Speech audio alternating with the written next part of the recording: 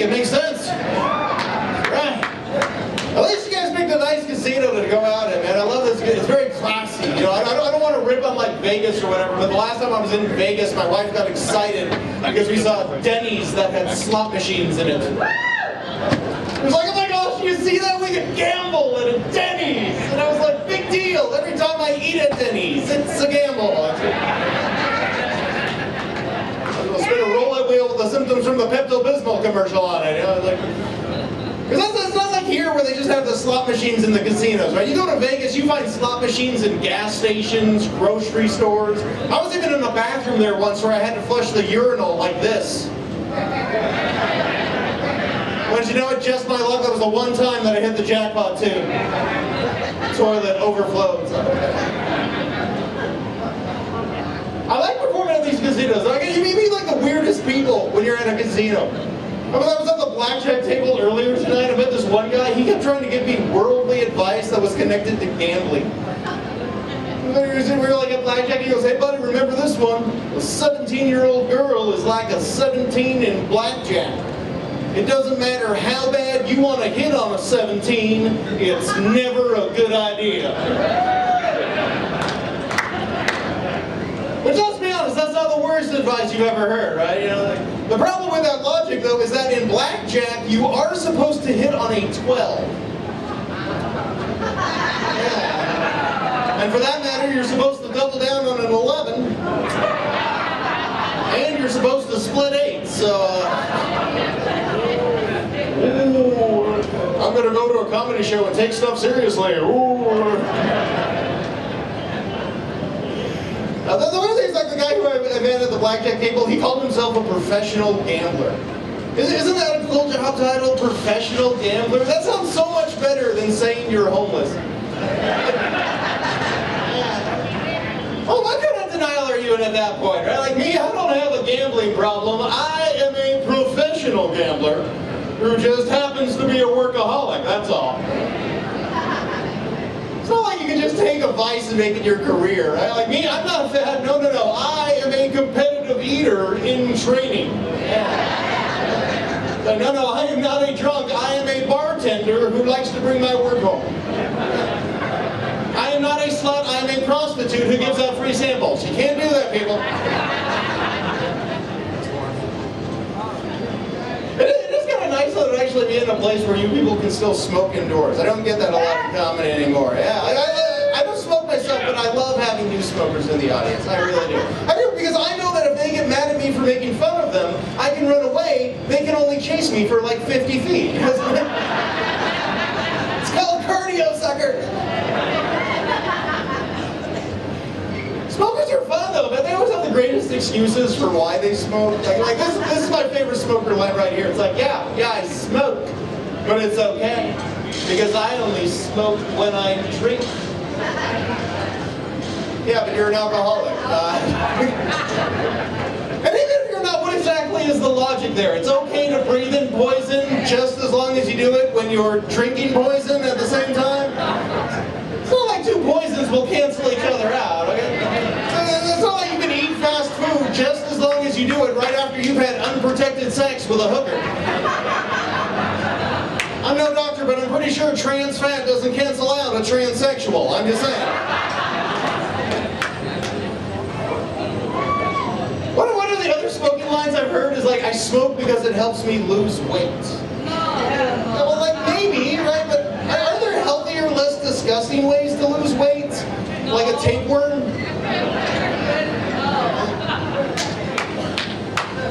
I think You don't see a smokers anymore because like the big thing is uh, is vaping. Do we have any vapors here tonight? People, if you, don't know what vaping is, it's, it's for people who want a healthy alternative to smoking, but would still like to be annoying to everyone around them. Instead, instead of like smoking like smoke out of a cigarette, you basically inhale water vapor that's laced with nicotine out of this little mechanical cigar thing. It's like if somebody combined the sophistication of a hookah with the nerdiness of an asthma inhaler.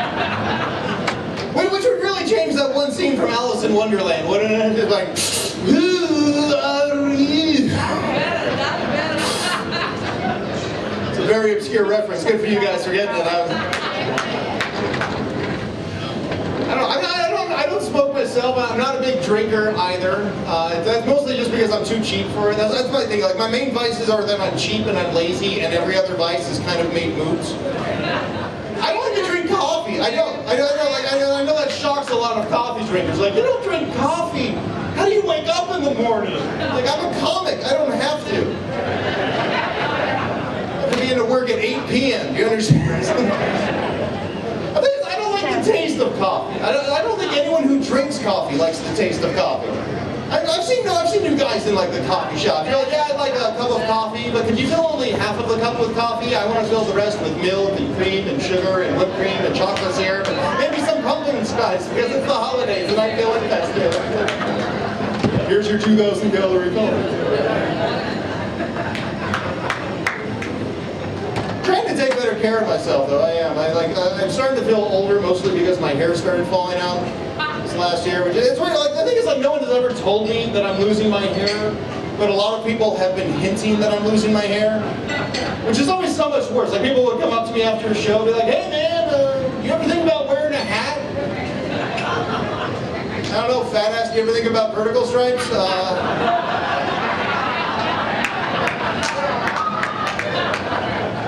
You don't, understand how traumatic it is for us men when we start losing our hair. It is when we go through the five stages of grief over our hair. You know, we do, first, is denial, you're like, I'm not losing my hair. Then comes anger, damn it, I am losing my hair. Bargaining, well maybe I can use Rogaine and save my hair. Depression, it's not working, the hair's only growing ears. And then finally comes acceptance, where you're like, you know what, this is the new me, bald is beautiful, I'm just going to shave my head and tell people it's a hairstyle. I see like four of you in the audience. I'm at that point later this year, I'm just going to walk into the barber and be like, nah, forget the George Clooney, give me the Patrick Stewart. Make it so. All right, that was for the nerds in the audience. The Northwest, though, man. I, I don't, I don't mean to uh, complain, but I was in the, I was in the South a couple months ago. Uh, not, not the deep South, but the shallow South. It's not as bad. Like, there's a difference. Like, the shallow South is where people have a funny accent. The, the deep South is where people think that I'm the one with a funny accent. like, I, I was in Arkansas a few years ago, like the deep South, I had a guy come up to me and be like, hey, man, how come you talk funny? Uh, well, you see, sir, my, my father is from Phoenix, but my mother is from Chicago, so they're not related.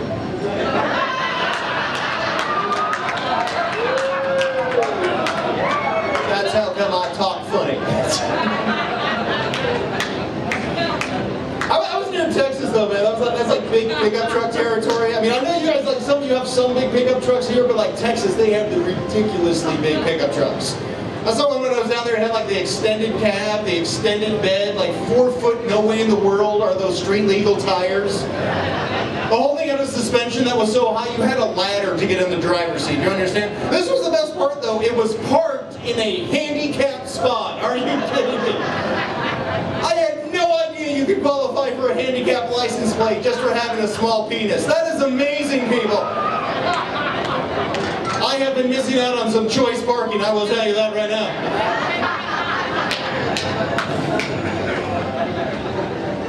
I come from a land of big pickup trucks, so like, like I said in my introduction, I'm originally from Alaska. Okay, that, that is where I was born, that is where I grew up. And uh, for those of you who are wondering why I don't look like an Eskimo, uh, that is because you are racist. I'm sorry to hear from a white guy. shows, people keep coming up to me and be like, you're really from Alaska? Wow, you're pale for an Eskimo. Thank you. Well, you're from California, you're pale for a Mexican. Let's move on. Uh,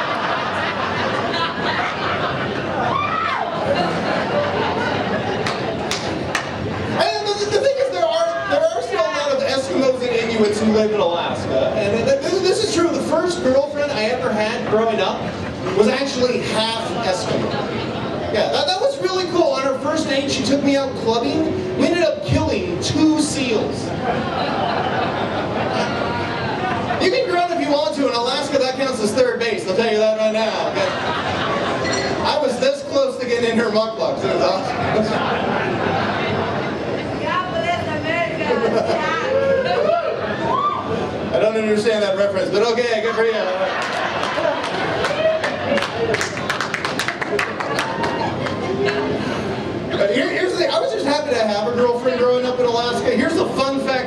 Place if you've never been there. Alaska has the biggest gender gap of anywhere else in the entire world. This is true. In Alaska, men outnumber women by more than two to one.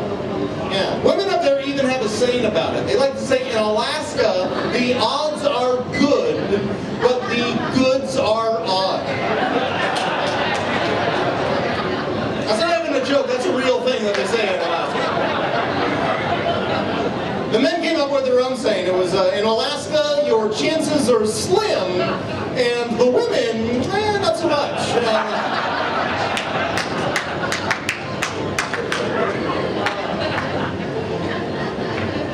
And I grew, I grew up in like the northern part of Alaska too, like, like way up there near Fairbanks where it gets to like 65 below zero in the wintertime. I'm not making that up either. Like people where I'm from would, would winter in Canada. It was that bad.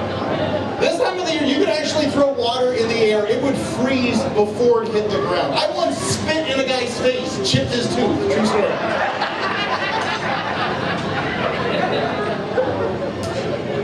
And if you want to prove like just how cold it is, you can look at my car. I drove my car down from Alaska. It has an electric plug sticking out the front grill of the car. A couple of you are nodding your heads because you know what that is. For those of you who aren't familiar, every car in Alaska has this. It's attached to an oil pan heater. So you can plug in your car when it's 50 below zero and your car will still start up, okay? Only people from cold places know what that plug is about. I drove my car from Alaska down to California. Everyone thought I drove an electric. Get all these idiot surfers walking up to me being like, whoa, dude, I've never seen an electric Aerostar minivan. You are hardcore green, dude. Right on.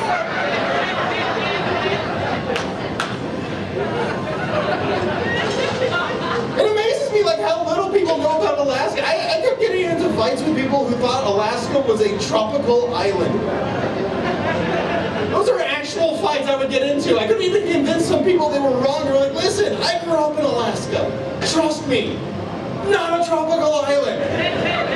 They're like, oh yeah? Well then why in my high school geography book was Alaska always next to Hawaii in the middle of the ocean?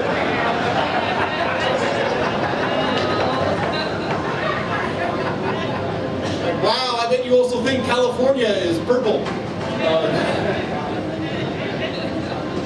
the, tr- the truth is like Alaska's not any different from anywhere else in the United States. Most Alaskans, if you want to know, are really just rednecks of the extreme north. That's all they are. You want to know why they have dog sled racing in Alaska? Well, it turns out that is what rednecks do when it is too cold for NASCAR. I, Of NASCAR is why hockey is so popular in cold places like Alaska and like in Canada. Hockey is the perfect substitute for NASCAR when you think about it. Yeah, the, the, the kind of people who like watching NASCAR just so they can see a car get into a big fiery crash. Those are the same people who love watching hockey for the bloody fistfights. Now look at a hockey rink, it's covered with ads just like cars are in NASCAR. The only difference between the two sports is that in hockey, the players have mullets and are missing teeth. And in NASCAR, those are the fans.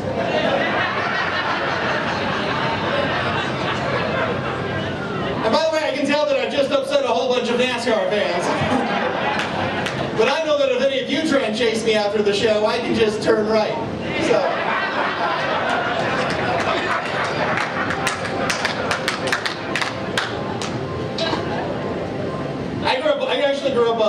Hockey, though. That was my big sport in Alaska, and I, know we don't have a lot of hockey fans down here in the lower states. I, I really think you guys should check out hockey if you get a chance. Check it out. It's a fascinating sport. It is. Even the creation of hockey is amazing when you think about it. Right? Because we all know hockey is the most violent team sport that has probably ever existed. But somehow it was invented by Canadians.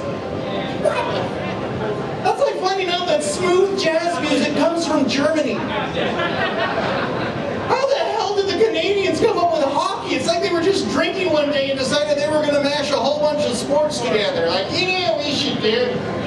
We should take a boxer, dress him up like a football player, give him a big golf club with a hook on the end of it, then strap a couple of knives to his feet like in a cockfight. a little shuttle disc into a small soccer goal protected by a guy dressed up like a baseball catcher. It'd be freaking awesome. It's like the only thing about hockey that makes sense that it came from Canada, to me at least, are, the penalties. Because I mean, if you don't know this, in hockey you can actually hit another man in the head with a hooked stick. And the only thing that happens is you have to sit on a bench for two minutes. That is a Canadian idea of a punishment right there. A timeout. You sit there and think about what you did, eh? You feel shame, hoser. And that- The the thing is, there are like a lot of sports that don't really seem like they would be popular in the country that they're popular in. Like, like for example, in, in Japan, sumo wrestling is huge. Right? Sumo wrestling, it's basically like just two fat guys wearing barely any clothing pushing each other around. How is that not America's number one sport? That combines everything we love, overeating, inappropriate amounts of clothing, and throwing our weight around. Come on!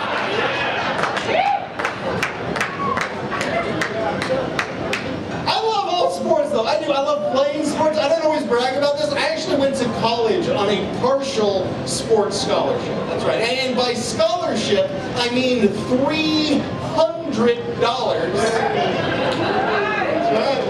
And, and by sport, I mean Spirit Squad. Yeah, that's right. This is true. My last semester of college, my school paid me $300 to grab cute little cheerleaders by their butts and throw them into the air. I would have done it for free. I know a lot of guys would never do that. Like, I could never be a male cheerleader. That's gay. I would only play a manly sport like football, where I could wear spandex pants and slap another guy on the ass. Right before we go take a group shower, you know, something manly.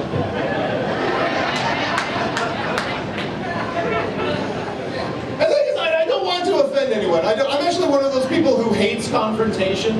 Uh, I, I got into one of those like stupid suburban fights with my next door neighbor last summer, and I like I hated it. Like my neighbor, this is true. My neighbor got mad at me of all things because he thought that I was spraying too much weed killer on his dog. And and in my defense, the dog's name was Dandelion. Which is ironic because now he's pushing up daisies. Oh, taking stuff seriously again. Oh. Relax, I would never do that to a dog, okay? I love dogs. I, I, I even feel bad if I accidentally hurt a dog. I did that last year on one of my comedy trips. I was driving cross country. I accidentally hit a dog with my car. Okay, did not kill it, but I did hurt it.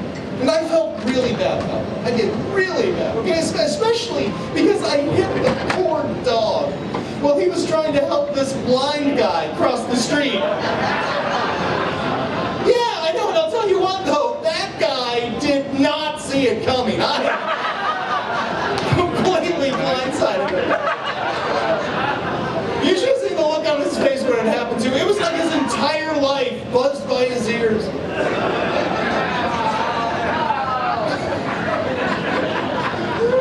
You can groan, but you have to explain it to the half of the room that didn't get it. I, I keep- getting into these fights with my wife because I'll say the right thing, but with the wrong inflection. You know what I mean? Like, like this is true. Like earlier this month, my wife was complaining at me because I was eating too much Halloween or Christmas candy. She, she was like, I wish you wouldn't, wouldn't eat so much sugar. And what I said to her, I thought was very reasonable. I said, hey, listen, I weigh less now than when we got married. Okay?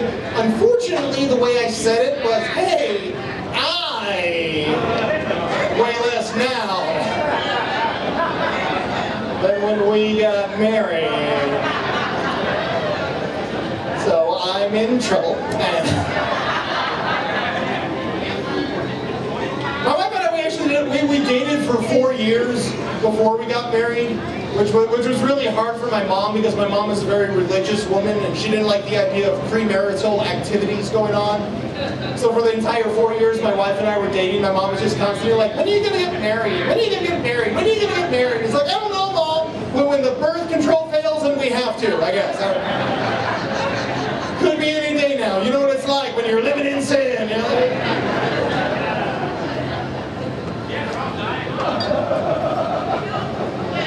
You get every joke like three seconds after everyone else. Not-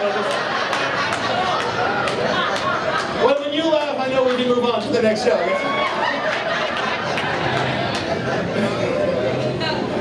The thing is, like, I, like being married. I know, like, a lot of people are cynical about marriage in this country. You, you always hear people say things like, oh, marriage is a failed institution. Half of marriages end in divorce.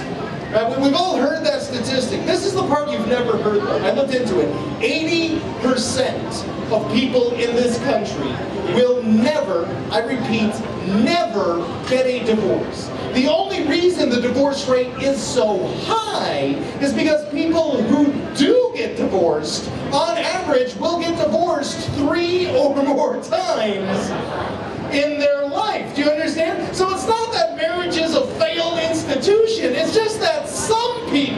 really suck at it. And they keep screwing up the curve. Do you understand? And by the way, I'm not saying that if any of you have been divorced, that that means you're a bad person or anything, okay? I'm just saying that if you've been divorced three, four, five times, maybe it's you. Statistically speaking, maybe you're the asshole. That's all I'm saying.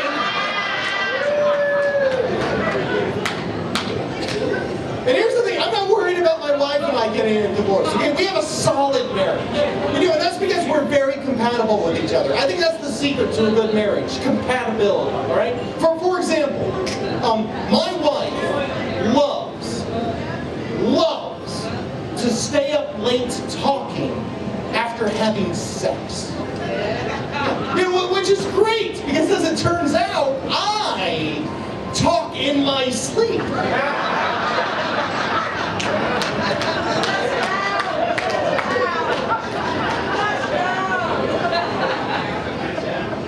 Actually, actually, my wife and I have a pretty good love life. Uh, this is true. On our last anniversary, my wife told me something that I thought was very sweet. She, she said that uh, every time we make love, it, it's just like our first time. Yeah. Yeah, which means I haven't gotten any better.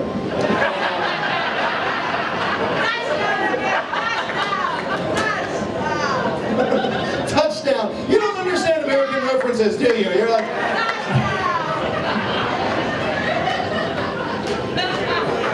bless you. Thank you very.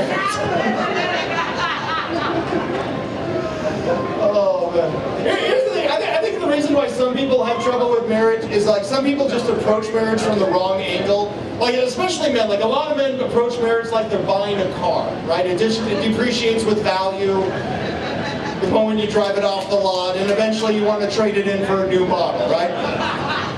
Women approach like a, a marriage like they're buying a house. They're willing to settle for a fixer-upper.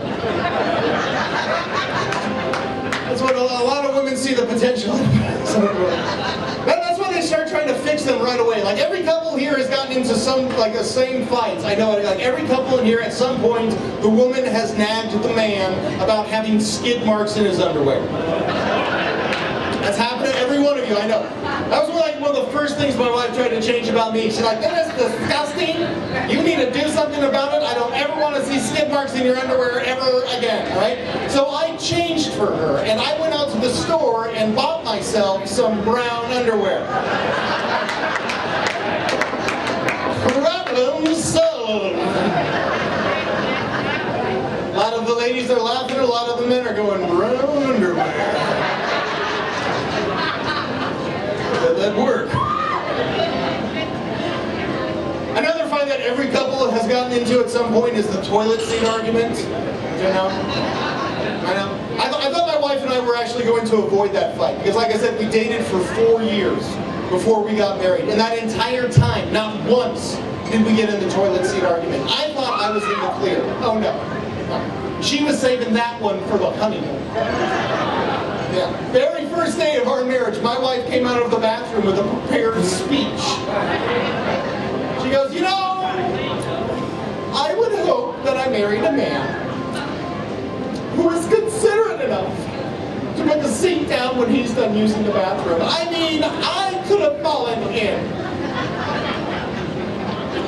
And I looked at her and I said, well, I would hope that I married a woman who's smart enough not to fall into a toilet bowl. Um,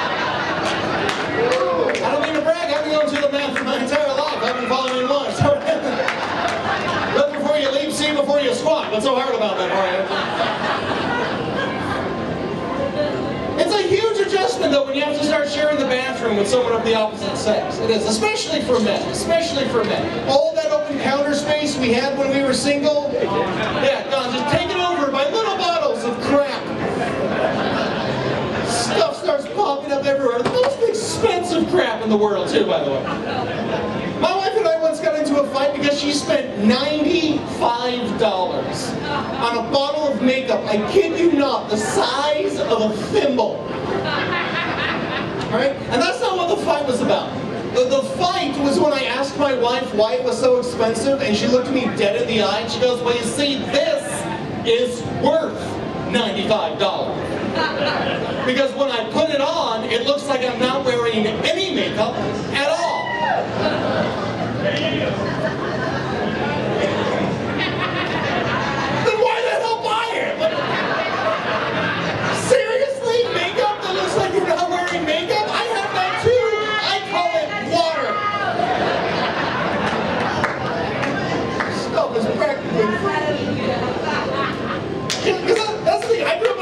With brothers.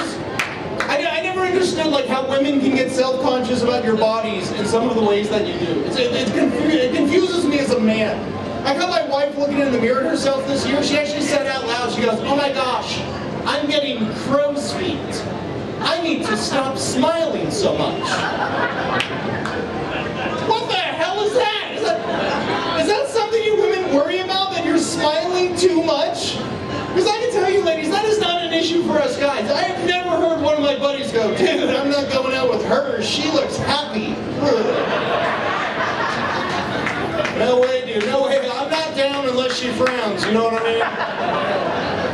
You know what's really hot is a woman who looks like she just smelled a fart.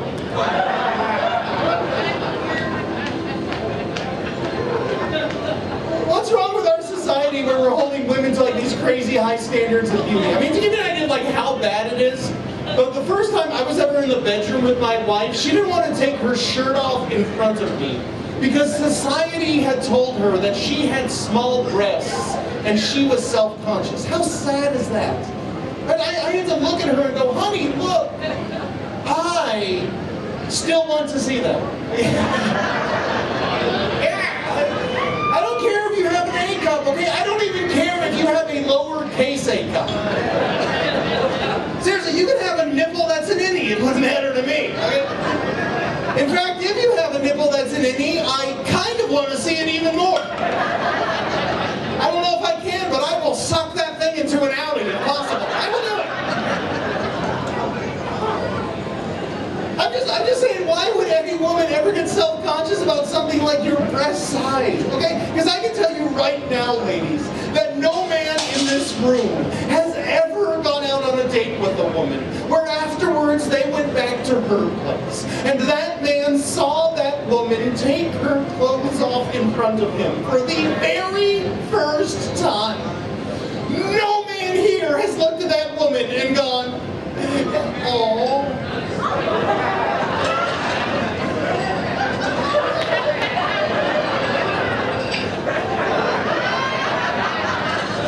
Nah.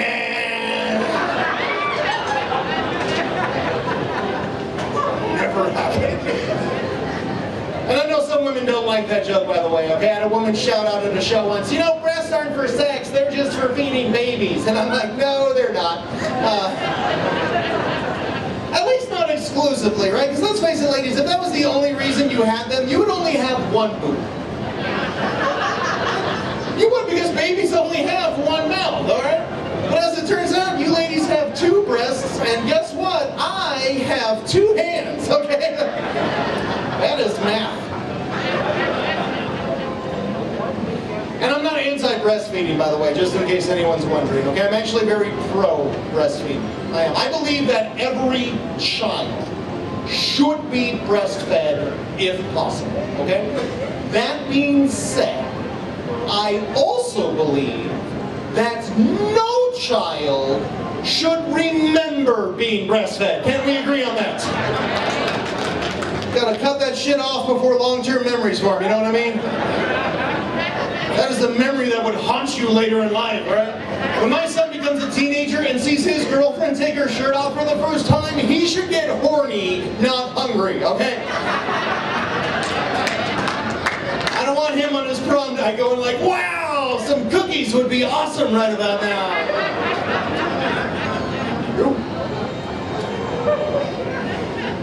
I do have a son though. He's, he's just about to turn uh, five years old, and I also have a, daughter who just turned three.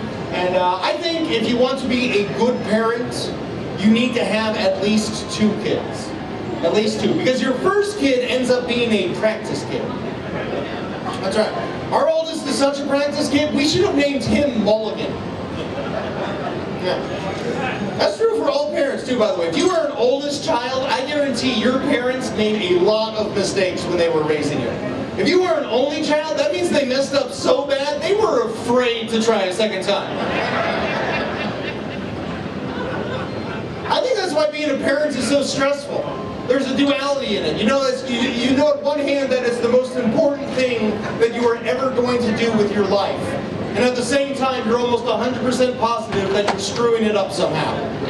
You know what I mean? Like, there are very few parents who don't think that they're screwing it up. And the ones that don't think that they're screwing it up are often the ones who are screwing it up the worst. You know what I mean? Like the kind of parents who brag about how often they hit their kids. You know, those parents are like, you're darn right I hit my kids. My parents hit me and I turned out fine. First of all, you did not turn out fine. You've turned into the kind of grown-up who brags about beating up a three-year-old. I understand it though. I get that, that feeling. Because like as a stay-at-home parent, my job is to suppress the urge to hit my kids until my wife comes home from work to give me a break.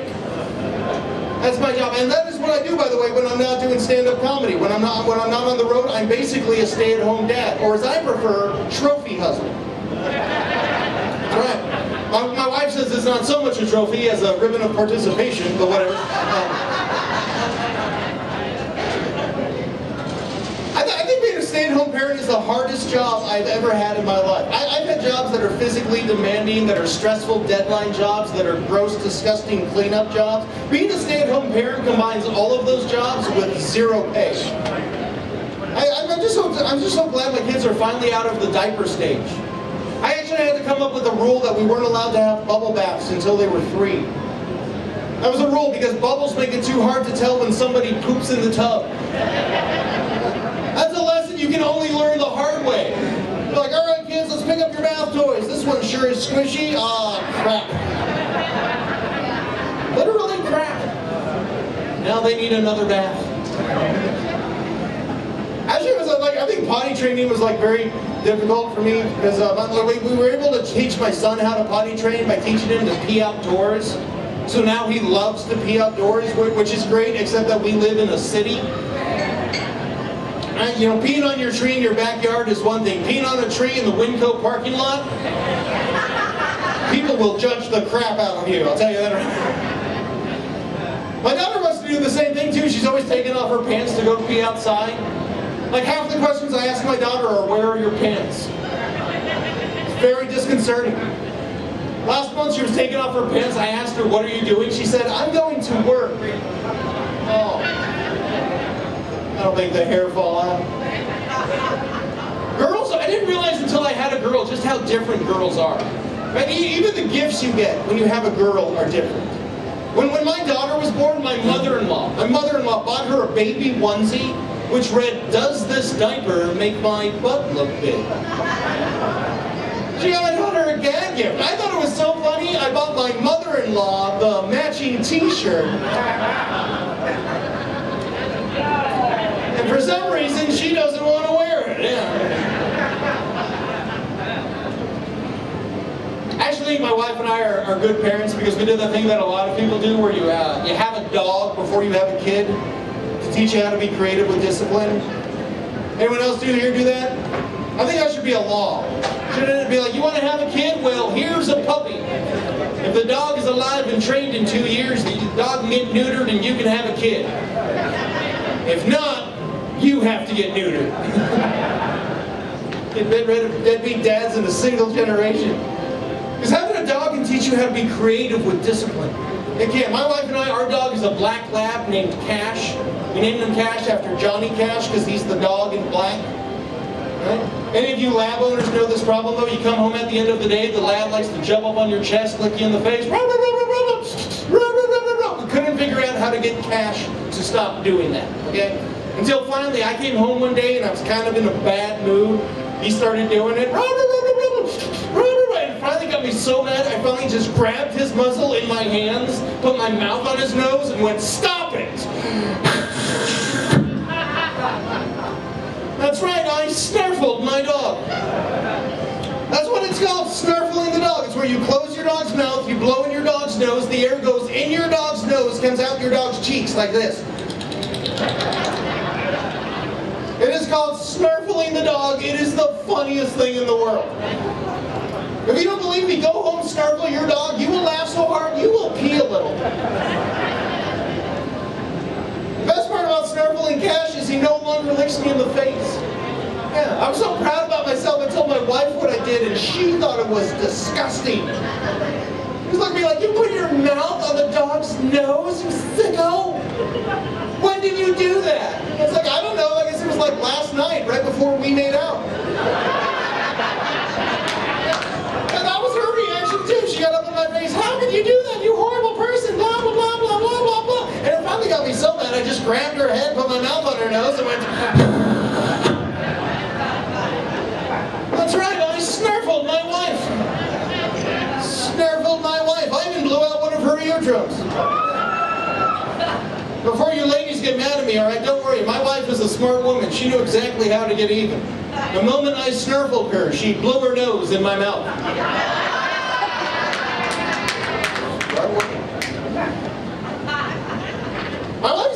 Crazy smart. I forget sometimes just how smart she is. Like, I consider myself a smart person, but my wife is way smarter. She's a successful businesswoman. And I forget sometimes just how smart she is until we have to make a decision together as a married couple, and I will make the mistake of speaking first. That always gets me into trouble. Earlier this year, for example, we did our taxes for the year. We realized we were going to get a little bit of money back when we were done, so we had to decide as a couple how we were going to spend it. And I spoke up first. I go, honey, you know what we should do is invest that money in a PlayStation.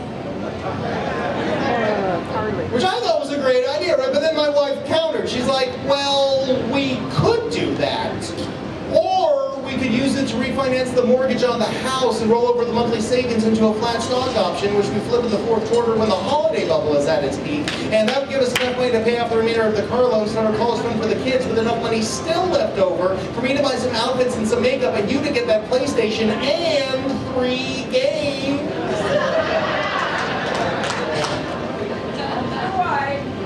Okay, let's do that. I still get the PlayStation though, right? All right, I'll be in the corner coloring.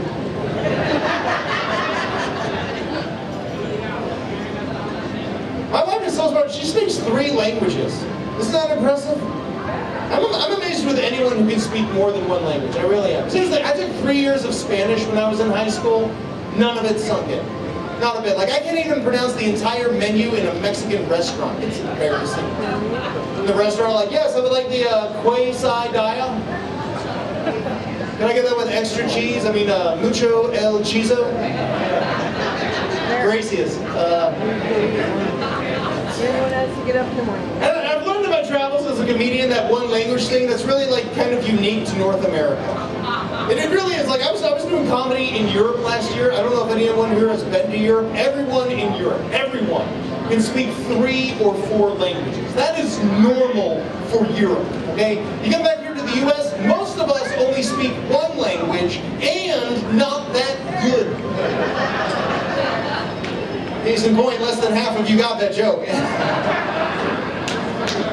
And that kind of proves my point, because the thing is, the language that we speak isn't even English. Okay, I have to England. We sound nothing like those people. Yeah, they, they even like to say in England that they speak English, but we speak American. Because apparently American is English minus things like big words and proper grammar. And it really is different too. Have you ever watched BBC News? Watch it. It's like it's like the British version of CNN, but but it's so much more sophisticated sounding than CNN.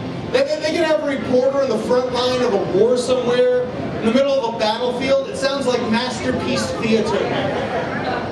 Like it appears the alliance of rebels have been able to fortify their position in this latest military offensive. From our current perspective, we are witness to the sounds of continuous ammunitions fire. like five feet away is the CNN guy, like, we can hear a lot of gunshots, Wolf. Back to y'all. See, this is how I know that I don't speak English that well, is that old English makes my head want to explode. You know what I mean? Like, like every time you hear Shakespeare, you know what I'm talking about? My wish is that every time they came out with a Shakespeare movie, they would include in it a translator for American. Wouldn't that be great? Instead instead of sign language person in the lower corner, give me a white trash redneck guy. And just dumbing everything down to my level. How great would that be? Think about it. To be or not to be? That is the question. Should I kill myself? Well, it is nobler in the mind to suffer the slings and arrows of outrageous fortune, to take arms against a sea of troubles, and by opposing end them, to die, to sleep no more. Seriously, should I kill myself? I'm just saying I'd watch that. Uh, my, my wife is uh, the smart one in our marriage. That's not to say my wife doesn't do stupid things from time to time. She, she has her moments. Like after our second kid was born, she decided she wanted to lose all of her baby weight as fast as possible. So she started going on every diet that you have ever heard of, which meant that I got to go on every diet that you have ever heard of. Apparently I had a baby. And I'm not joking, for six months, my wife and I, we did every diet. You've heard of the caveman diet? We did that one. The blood type diet, we did that one. We even once did a diet where we could only eat foods that we could spell using the letters in our names.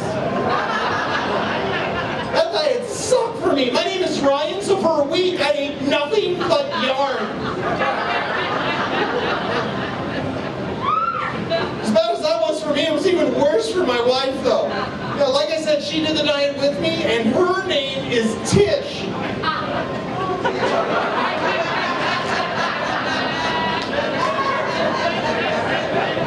Time, all right, moving on.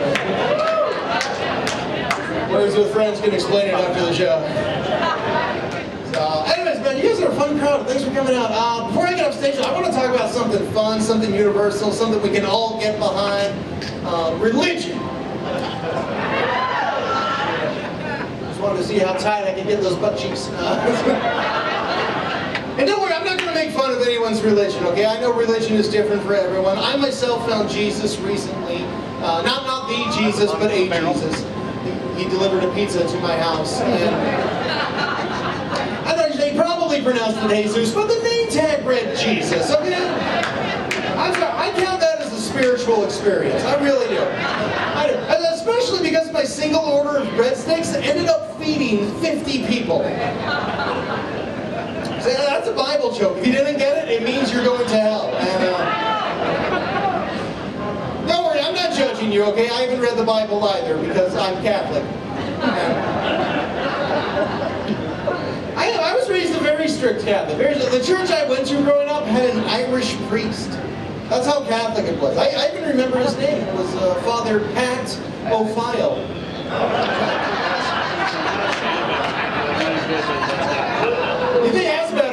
You think that's bad? Our bishop's name was Luke De Otherway. And, uh, He sucked at his job, I'll tell you that right now. I know, I know. Some people say you shouldn't joke about religion, and I call those people my mom. I just think there are some things about religion that are just inherently funny. I mean, does anyone else here ever wonder if Mormons and Jehovah Witnesses ever get into holy turf wars with each other? You know what I mean? Like a religious gang fight to see who can solicit on the east side. How is that not funny? Just think of all the Mormons doing drive-bys on their bicycles. Instead of drive-by shootings, though, it's drive-by baptisms where they just throw water balloons filled